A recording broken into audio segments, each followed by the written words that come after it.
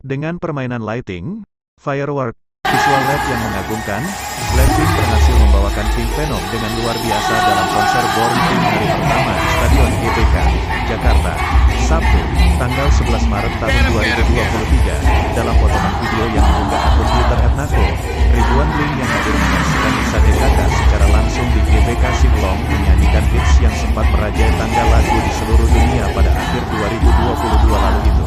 Pertunjukan Venom itu pun ditutup dengan firework yang indah dan disambut riuh tepuk tangan dan teriakan dari para Blink.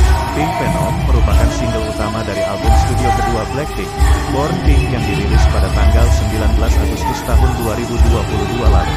Single ini sukses merajai tangga lagu di seluruh dunia, termasuk Billboard Hot 100 pada pekan pertama perilisan.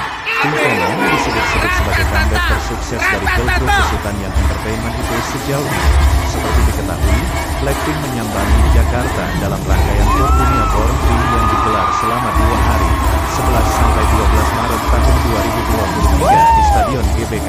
Tour Born Pink merupakan bagian dari rangkaian konser untuk mempromosikan album studio kedua mereka, Born Pink yang dirilis pada tanggal 16 September tahun 2022 lalu.